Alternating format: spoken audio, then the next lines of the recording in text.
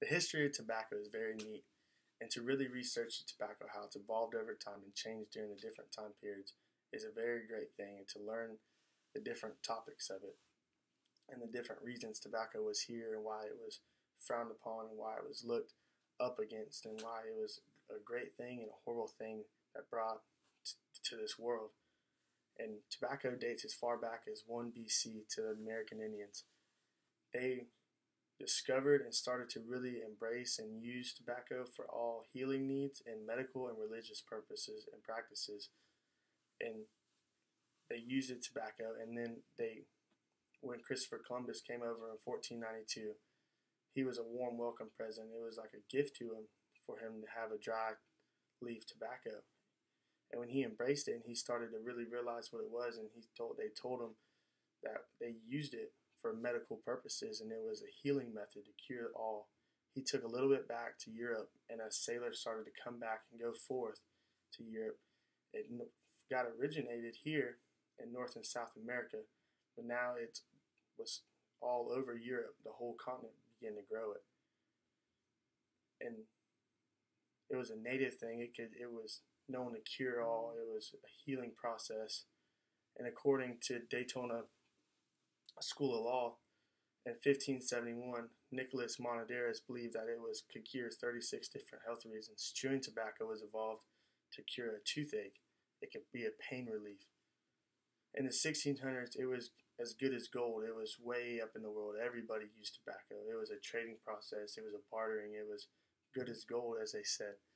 In 1826, the nicotine was discovered, and it was a pure nicotine. It took off, and it was known as a dangerous poison they put out.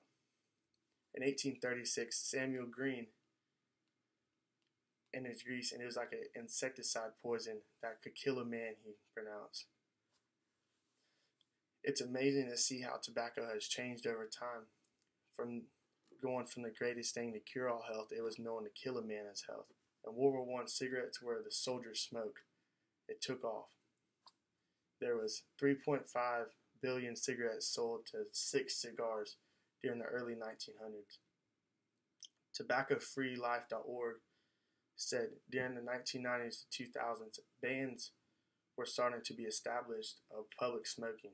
Started to ban the cigarettes, ban the smoke, ban it around kids, and it's the how life has changed the cigarettes, how tobacco, cigars, chewing tobacco, dipping tobacco, everything has evolved and it was started out as just a curing method of medical and religious purposes as a traditional effect of American Indians. Now it's being used as it could kill a man, as there's quitting methods, how there's bans against these methods.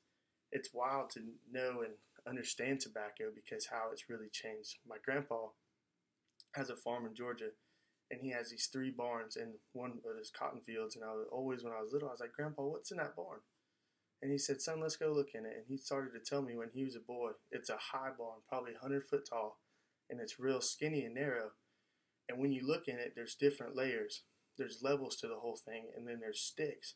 He said, when I was a boy, I had to crawl on every level and hang them sticks and hang the tobacco, and there was heaters in the bottom of it, and them heaters would coil and get hotter and hotter, mm-hmm. and they dry the tobacco all the way from the bottom to the top, and they'd have to work them all night long until they finally got the tobacco right, and then they'd sell it. That's their, that's how they made their profit. Well, knowing that, and then today, I said, Grandpa, do they still do that? They still have dry houses. He said all the tobacco rights were sold to China.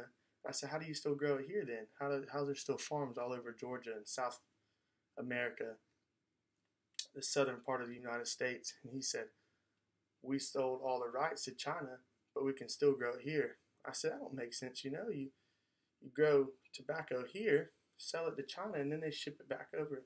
It's just wild to think how tobacco has evolved and changed. And it went from being the greatest health cure and being a money originated and being jobs formed all over America to medical reasons to now people there's tobaccofree.org, quit tobacco, there's quit methods, there's nicotine patches, there's an insecticide to kill a man. It's wild how one thing can change over time so dramatically to change in so many different ways. Appreciate it.